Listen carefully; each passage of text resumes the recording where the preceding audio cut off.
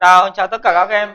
Hôm nay chúng ta sẽ cùng nhau sang thầy bài số 2 đó là định lý đảo và hệ quả của định lý Thales. Thì các em hình dung như này. Ở trong hôm trước chúng ta đã học về định lý Thales thuận.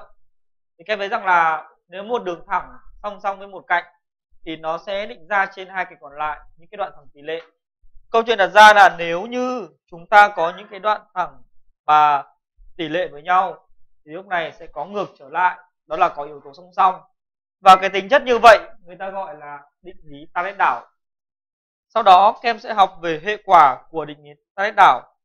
Khi một đường thẳng ờ, uh, cắt hai cạnh của một tam giác và song song với cạnh thứ ba thì nó sẽ tạo ra một cái tam giác mà uh, có ba cạnh tỷ lệ với tam giác đã cho. Nhờ cái hệ quả này chúng ta có thể đi tính toán cái đường ở giữa một cách nhanh chóng. Um, tiếp theo, đó là, tiếp theo đó là phần bài tập. Chúng ta sẽ cùng nhau làm thầy ờ, từ bài số 6 trang 84 sách bài tập đến hết nhá. Thì các em thấy rằng là phần này là những cái bài tập khá là khó thầy đánh giá là khá là khó đấy. Vì thế là các bạn phải học một thầy chắc cái phần lý thuyết để chúng ta làm được nhá. Cuối giờ còn thời gian, chúng ta cùng nhau làm thầy một cái bài kiểm tra để giúp các em hiểu được nội dung của bài số 2 định lý Talet đảo và hệ quả của định lý Talet. Bây giờ chúng ta sẽ cùng nhau vào thầy phần một nhỏ đầu tiên đó là định lý đảo nhé.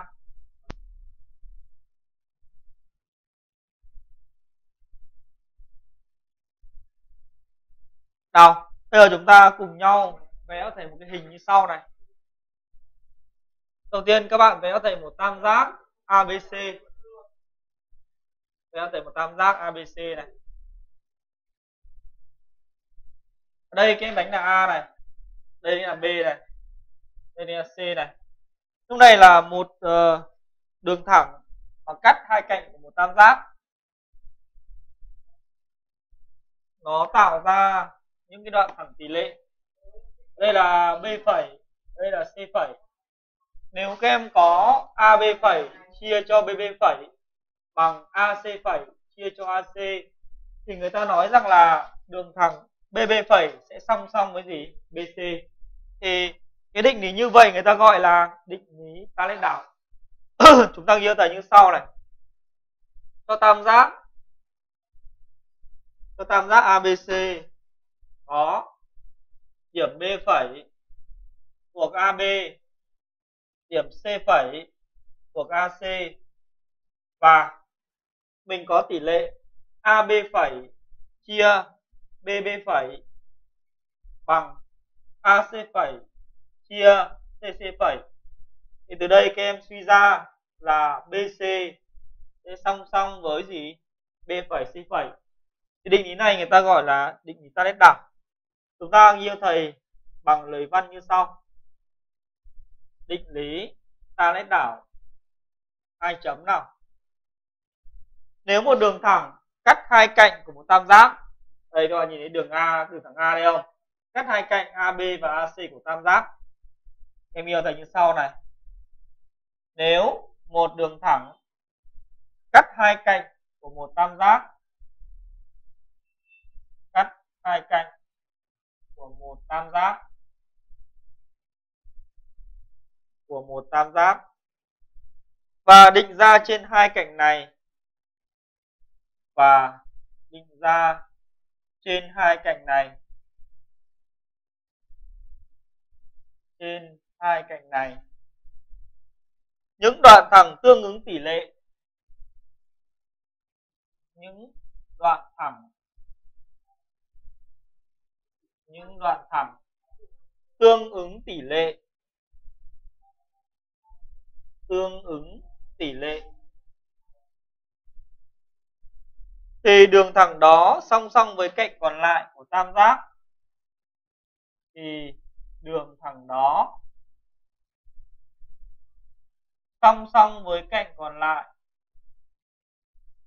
Song song với cạnh còn lại, với cạnh còn lại của tam giác. Của tam giác. Thì đấy chính là định lý gì đây? Định lý ta lét đảo của chúng ta nhé. Và bây giờ chúng ta sẽ cùng nhau đi gì đây? Đi chứng minh. Chứng minh. Nào, bạn nào có ý tưởng để chứng minh cái định lý ta lét đảo này nào?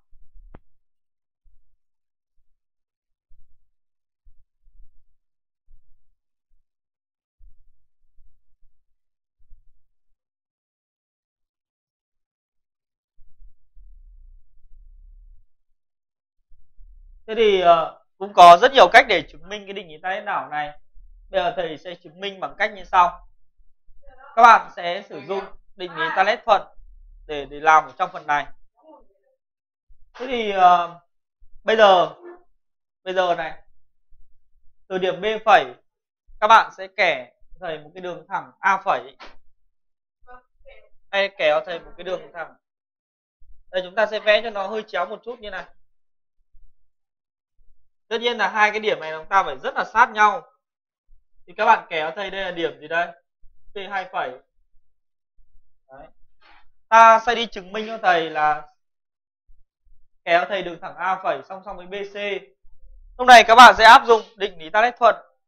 Các bạn sẽ có tỷ lệ của ab phẩy chia bb phẩy bằng tỷ lệ của ac 2 phẩy chia ac sau đó áp dụng uh, tính chất bắc cầu thì các em có AC phẩy chia AC bằng AC 2 phẩy chia cho AC dẫn đến là AC phẩy và AC 2 phẩy sẽ là bằng nhau. Ở đây các em sẽ suy ra là C phẩy trùng với C 2 phẩy. Hay nói cách khác là đường thẳng A phẩy sẽ phải trùng với đường thẳng A. Vậy các em suy ra là uh, B phẩy C phẩy sẽ phải song song với BC nhé đấy là cách chúng ta sử dụng định lý Talet thuận để đi chứng minh định lý, ta lãnh đảo bây giờ chúng ta sẽ cùng nhau trình bày nhá. Viết thành như sau này. Từ b phẩy, em kẻ thầy một cái đường thẳng a phẩy, song song với bc cắt ac tại c 2 phẩy. Sẽ tam giác abc thế tam giác abc có.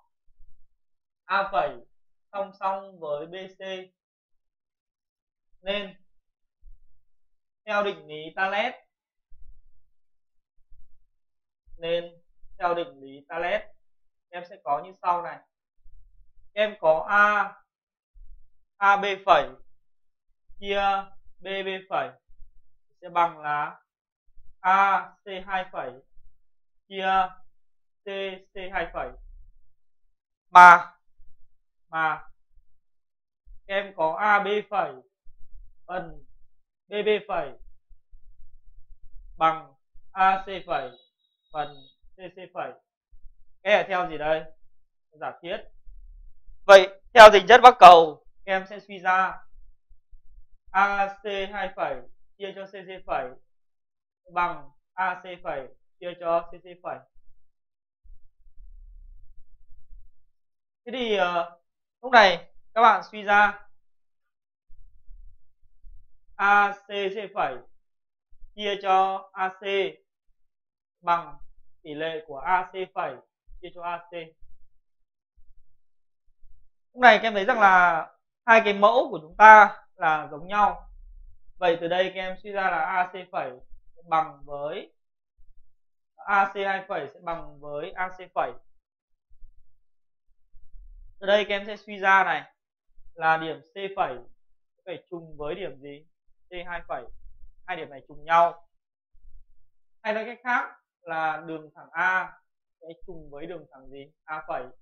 Ở đây các em có kết luận. À, vậy BB phẩy. À, vậy à, B phẩy C phẩy sẽ là song song với BC đó. Thì bài này chúng ta sẽ sử dụng cách này để chứng minh định lý ta lấy đảo nhá. Rồi, cái hay của định nghĩa ta lấy đảo này là gì này?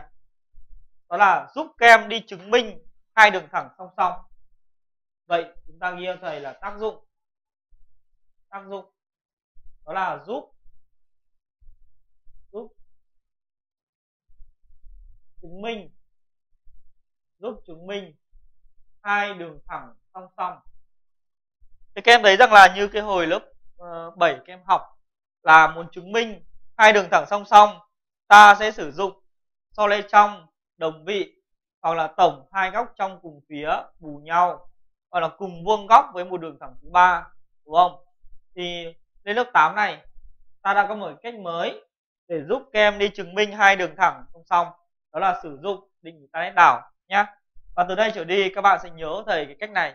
Vậy liên quan đến tỷ lệ thì các bạn nhớ thầy, định lý ta đảo, nó sẽ giúp các em đi chứng minh hai đường thẳng song song. Và cái định lý ta đảo này còn sử dụng cho các bạn lên đến lớp 12 liền, nên là các bạn phải học nó nhé bây giờ ta chuyển sang ý hai, đó là hệ quả của định lý Talet nào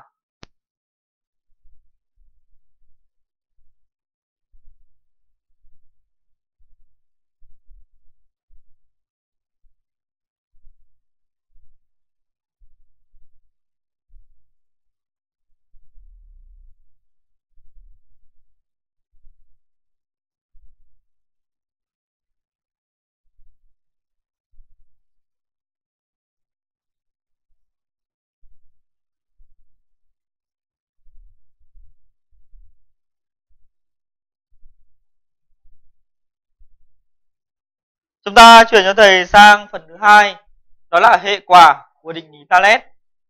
Bây giờ chúng ta sẽ cùng nhau lại vẽ cho thầy một tam giác ABC nào. Cho một tam giác ABC như này.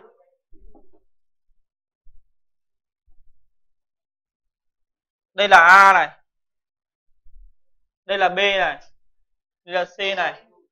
Bây giờ các em có một cái ờ, đường thẳng cắt AC tại các điểm là B phẩy, C phẩy và B phẩy C phẩy là song song với BC. Lúc này các em thấy rằng là ta có nhìn thấy là có một cái tam giác ở phía trên không? Đó là tam giác gì đây? A, B phẩy, C phẩy. Đây là một tam giác. Nó sẽ đồng dạng với tam giác ABC. Hay nói cách khác, nó sẽ tạo ra ba cạnh ba cạnh, tỷ lệ với ba cạnh của tam giác đã cho thì đấy người ta gọi là gì? Người ta gọi là gì? Hệ quả của đỉnh Talet. Chúng ta nhớ thành như sau này. Cho này. Tam giác ABC có B phẩy thuộc AB C phẩy thuộc AC và B phẩy, C phẩy. Song song với BC từ đây các em suy ra, chúng ta có tỷ lệ AB phẩy chia AB bằng B phẩy, C phẩy chia BC và sẽ bằng AC phẩy chia cho AC thì các em thấy rằng là rất là hay, đúng không? Nghĩa là trong trường hợp này, chúng ta sẽ liên quan tới B phẩy, C phẩy và đây là dấu hiệu nhận biết để các em tính toán liên quan tới gì? Hệ quả của chúng ta led chúng ta ghi thầy hệ quả như sau. Hệ quả như sau. Hai chấm này. Nếu một đường thẳng cắt hai cạnh của một tam giác, nếu một đường thẳng cắt hai cạnh của một tam giác cắt hai cạnh của một tam giác và song song với cạnh còn lại. Và song song với cạnh còn lại. Song song với cạnh còn lại. Thì nó tạo ra một tam giác mới. Thì nó tạo ra một tam giác mới. Một tam giác mới có ba cạnh tương ứng tỷ lệ. Có ba cạnh tương ứng tỷ lệ. Tương ứng tỷ lệ. Với ba cạnh của tam giác đã cho. Với ba cạnh của tam giác đã cho. Nào chứng minh đúng không? Chứng minh. Ta suy luận nào?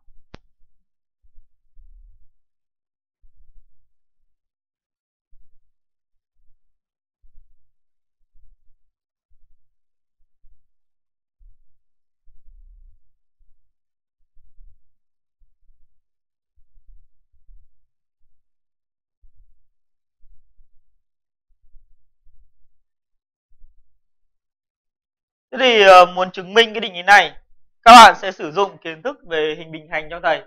Ở trong này chúng ta sẽ thấy rằng là từ c phẩy các bạn kẻ cho thầy. Kẻ cho thầy gì đây? C phẩy d song song với ab Đấy.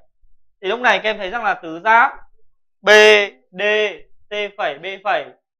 Em thấy là có b phẩy c phẩy song song với bd tại vì b phẩy c phẩy song song với gì? Bc thứ hai là bb phẩy song song với c phẩy d theo cái cách dựng hình.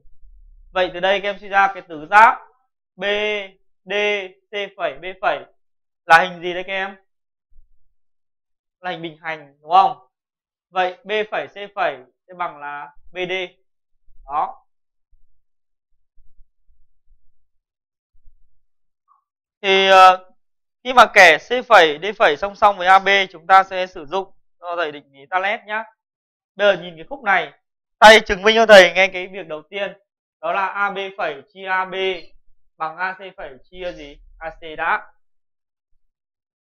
sau đó các bạn đi chứng minh bằng tiếp b phẩy c phẩy chia cho bc chúng ta cùng nhau vẽ thầy hình nào. Nào, bước thứ nhất nha chứng minh a phẩy b phẩy bằng a phẩy c phẩy. A phẩy a b phẩy chia a b bằng a c phẩy chia a c nào. Ta viết như sau. Xét tam giác abc nào.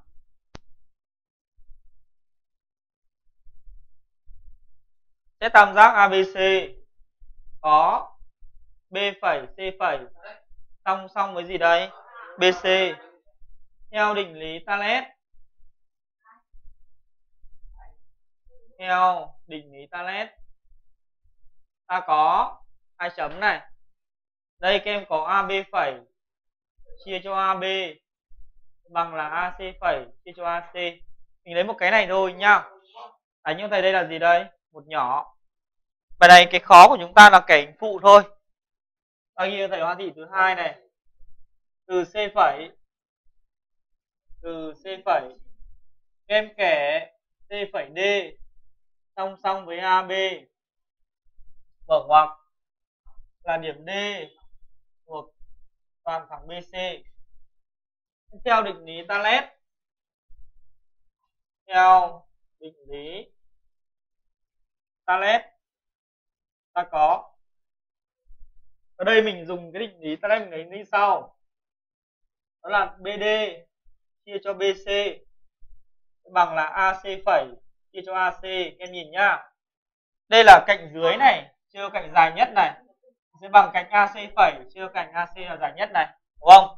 Đây cái hướng của chúng ta là C phẩy D song song với AB nhá. Bây giờ các bạn sẽ đi chứng minh cho thầy là B phẩy C phẩy bằng với BD nữa là xong. Chúng ta sẽ sử dụng cái cách làm đó là chứng minh hình bình hành. Pha thị này, test tứ giác B, D C phẩy, B phẩy. Có, hai chấm. Thứ nhất là có b phẩy, c phẩy. Song song với bd và ngoặc ra là vì b phẩy, c phẩy. Song song với bc điều thứ hai là c phẩy d. Song song với bb phẩy. Lý do là c phẩy d. Song song với ab từ hai điều này, mình suy ra tứ giác bd C phẩy, B phẩy là hình bình hành. Đây là theo gì đây? Dấu hiệu nhận biết. Vậy ông này, các em sẽ suy ra đó là BD đó là B phẩy, C phẩy bằng với BD. Vậy các bạn thay cái B phẩy, C phẩy vào đây. Vậy các em suy ra là B phẩy C phẩy chia BC bằng AC phẩy chia AC. Các em đánh cho thầy đây là hai nhỏ nhá. Giờ đây là từ một nhỏ và hai nhỏ. Theo tính chất bắc cầu, chúng ta suy ra là A phẩy B phẩy chia AB bằng AC phẩy chia AC và bằng B phẩy C phẩy C phẩy chia cho BC. Thì đấy chính là hệ quả của cái định lý Talet. Và các em thấy rằng là hệ quả này của chúng ta ấy, dùng để làm gì này? thì các em thấy rằng là ứng dụng đầu tiên đó là dùng để tính toán, đúng không? Nhiều thầy tác dụng. Tác dụng. Đó là dùng để tính. Thì trong phần này người ta hay đi tính, đó là tính b phẩy c phẩy. Nghĩa là tính cái cạnh thứ ba ấy. Cái cạnh ở giữa này. Đây là cạnh b phẩy c phẩy ở giữa này cứ bài nào mà bắt tính b phẩy c phẩy thì chúng ta sẽ sử dụng hệ quả của định Talet và các em cần phải phân biệt là hệ quả này so với gì? So với định Talet đúng không? Vâng ta cùng nhau làm một bài tập nhé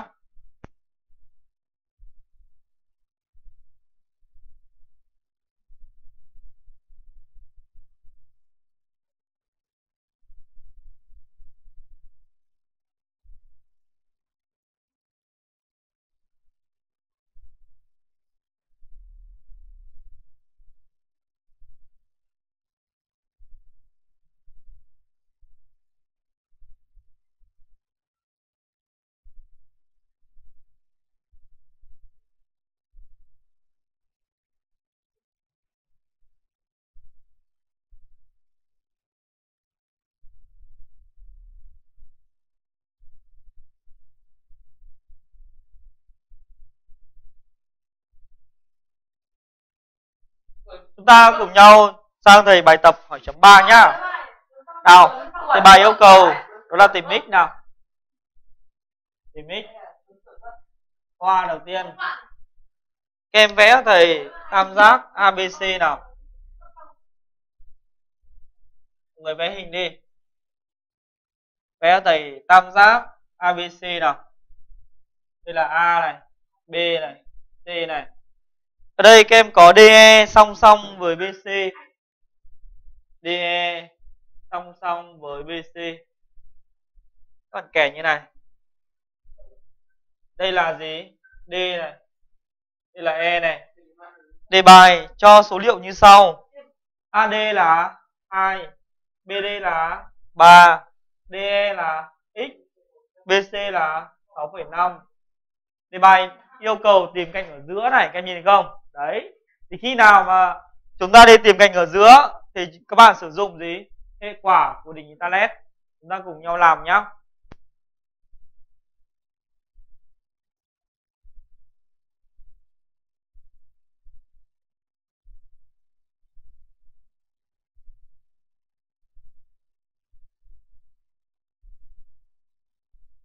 chúng ta ghi cho thầy như sau.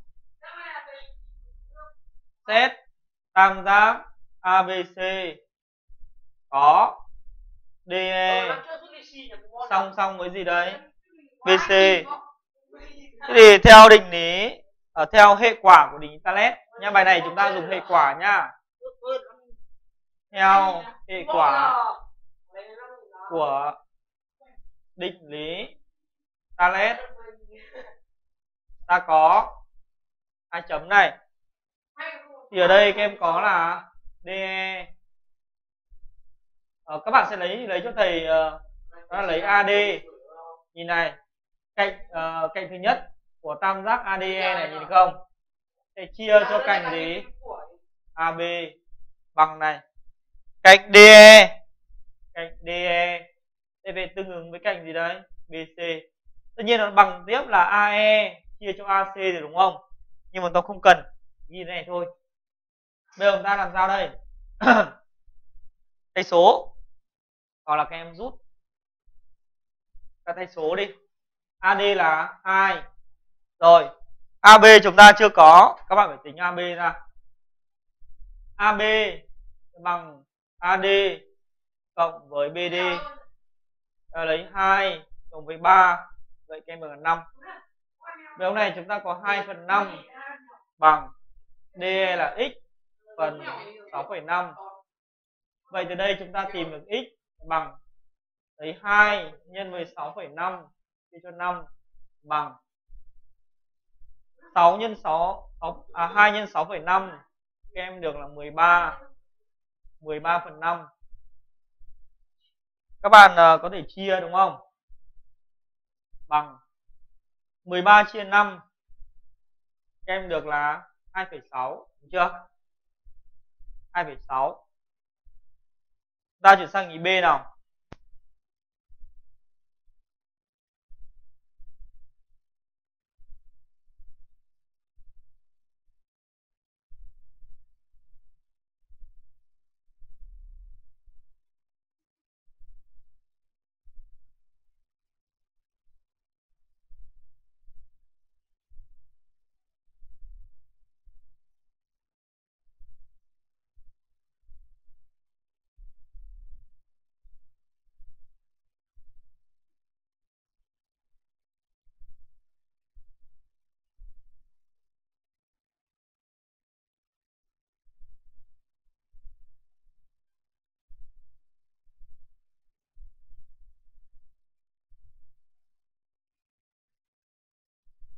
Chúng ta chuyển cho thầy sang ý B.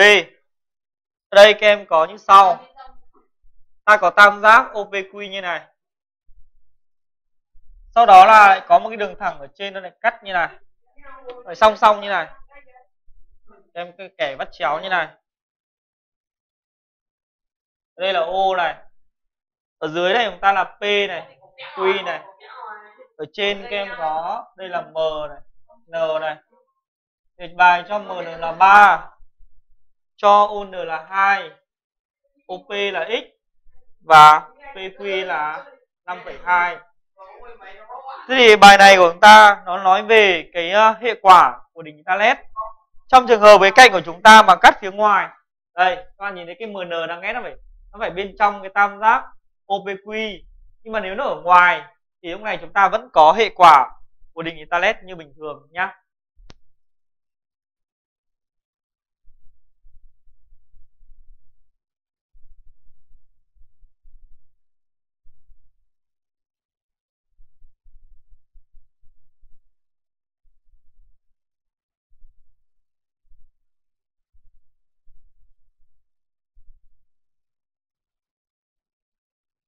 Sao? các em sẽ sử dụng hệ quả nhá. Tại vì chúng ta liên quan đến cạnh thứ ba là cạnh mn này, cái cạnh pq này, thì mình dùng hệ quả hợp lý. Xét tam giác.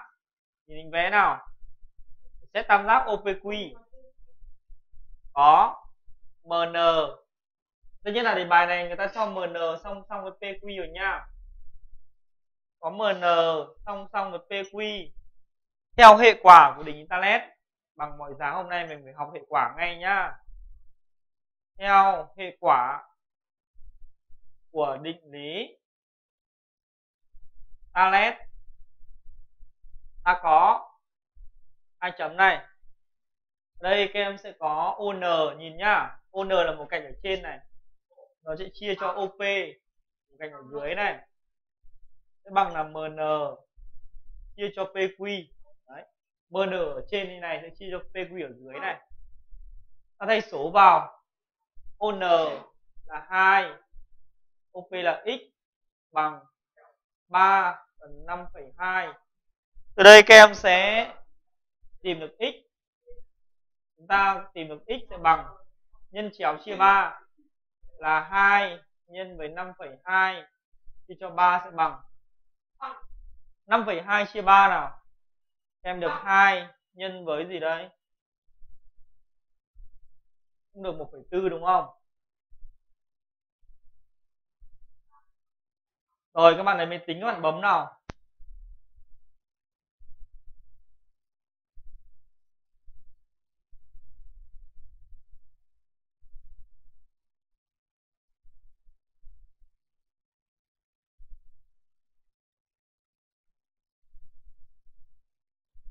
Ở đây ờ, chúng ta không chia hết. Lúc này các em sẽ phải gì đấy để dạng là phân số nhá.